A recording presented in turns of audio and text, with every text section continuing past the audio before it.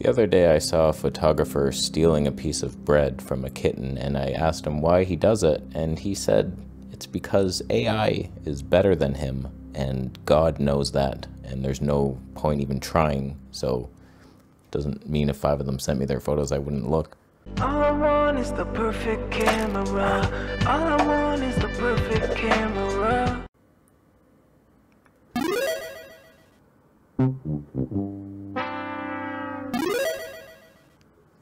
I suck at placing things right.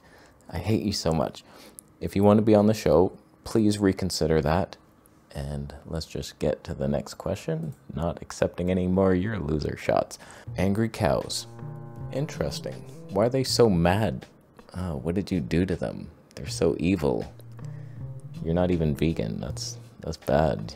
They can sense that, I think. Interesting. Panasonic G9, of course, with a TT Artisan 7.5 mil Tony 2. And you wish. That's a 2.8 wishful boy. The Laowa version, yeah, you might have had something, but don't lie to me. You're lying to yourself. God knows that. It's an okay shot. Uh, it's awkwardly tilted for some reason, but I don't know. I just have to assume that one of the cow tried to eat you. Yeah, that's right.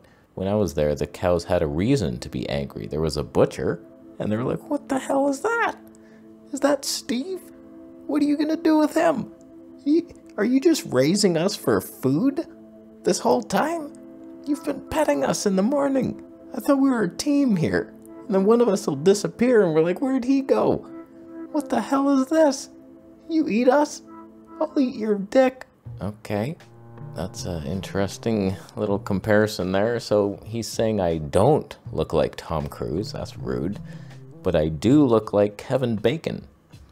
I'll take it. I'll take it to the bank. I don't know, man. Uh, you're reaching here for any of those comparisons. That's clearly Tom Cruise over there. But, like, I'm there. Kevin Bacon. A lot of good movies, huh? Am I right or am I wrong? Those are good movies. Good B level movies. Oh, God, why? The sharpness of it. The, why do you do it? This is the Sigma look. And a lot of people like this. Like, it's so sharp and edgy and out there. And they're like, wow, this is so contrasty. And, like, people like it, I guess, but that ain't normal. It's not natural. It's, like, too saturated. If you look at the sky, no sky is ever that blue. You slid things in your little Lightroom. I hope you get locked in a room with no lights. It's just ugly. It's funny that that was taken with such a low megapixel A7S III. It's like you could crop not. No, you can't. It falls apart hard as soon as you start zooming. Oh, wow. Okay. Uh, I misread that one. Sigma zoom. Bullshit. I'm not editing this. You lost that privilege. All right. We have a wave. Never seen that before. I like the color of the wave. Feels manipulated. Why is it so different than the background water? Seems like you did something unethical to it, but whatever. Fuji GFX 50S2. Not bad. 50 megapixels. It's okay. No lens? You didn't use a lens for that? Oh, darn. Wow. Cameras are that good these days, huh? Thanks for telling me nothing.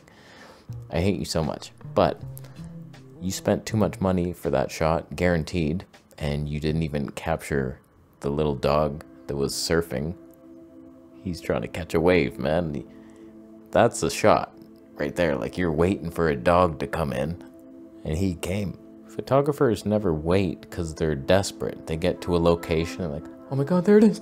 Oh, I got it. And then they walk home while the dog is like just walking with the surfboard. It's like, wow, I missed that because you're desperate and cranky. All right, last shot here. I think this is the definition of no 3D pop. Like you can just, it's hard to even tell that you're at the top of a waterfall and it's going down. You could be on the bottom floor for all I know. And then there's just some weird artifacty water on the right side. There's no like depth to the scene. If you would have Voigtländered your way through life on this one, you would have seen like, wow, that's so far down there. Couldn't believe it. And you should have framed it better. Like get over a little something's off with this whole thing. You knew that. And you sent it in to a show anyway. He said he lost a testicle crouching to get this shot. Was it worth it? sounding like Alvin from the Chipmunks. When I went to that waterfall, I noticed that there was a shark waiting at the bottom and an Olympic diver, just inspired from the recent Olympics, even though the opening ceremony was satanic hell. She noticed that, uh oh, that there's no points at the end of this one. I'm not being rewarded for this. I'm going to die by a great white shark. How did they get there in the shallow creek? I I did not foresee that. There was no signs saying warning sharks. So she died. And you died. Photography died today. How could anyone win this show? There's this is going to be the first show with no winner. You got angry cows. It was okay, but like you betrayed them and ate them after. So like you're a crook and a liar. And then like the Tom Cruise guy, come on. Kevin Bacon, you didn't take the photo. They're just screenshots.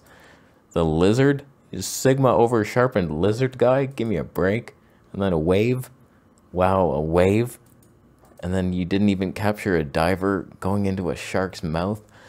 Oh God, you all suck so much. I hate this show more than anything I do. I'm gonna give it to the waterfall guy in hopes that he goes back there with a better lens and captures some 3D pop. Because if the lens was different, you didn't just cheap out with your kit lens, you would have had something there, but you didn't. And your friend died by the shark, rightfully so. And may you replace your testicle with this award from today's show. You won. You won a better testicle. Guaranteed upgrade over whatever the hell you were packing. I gotta find a way to get those in my shot without covering it. There's no practical way, but I'll leave after Bitcoin donations enter into my body. And you subscribe for more videos, and I'll see you in the next one. I hate this show so much.